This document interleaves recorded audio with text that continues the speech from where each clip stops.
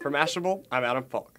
Have you been taking more road trips just to avoid those TSA full body scanners? Soon, even the streets might not be safe. The same technology capable of seeing through clothes and walls has been roving along U.S. streets. This is the Z Backscatter Van, or ZBV.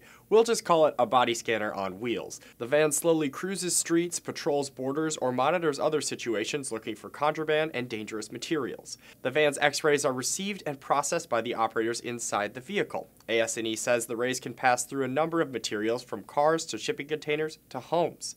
A video created by AS&E explains what the x-rays are looking for. Using AS&E's unique backscatter technology, the ZBV produces electronically generated X-rays that detect substances containing low atomic number elements, such as carbon, hydrogen, and nitrogen.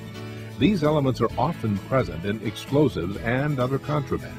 For those targeted by the scanner, AS&E claims radiation from the van is about the same as spending 15 minutes on an airplane. Health concerns aside, AS&E mobile scanner is bound to butt heads with the Fourth Amendment. X-rays from the van pass through clothes and are viewed on site. The van also has the ability to save images for evidence. This is unlike TSA's full body scanner policy, which says images must be viewed by another agent not performing the scan and its machines cannot save images. So far, U.S. and foreign government agencies have driven more than 500 vans off the lot.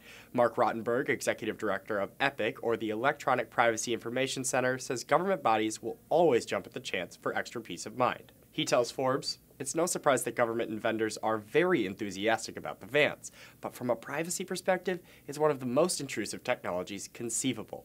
For Mashable, I'm Adam Falk.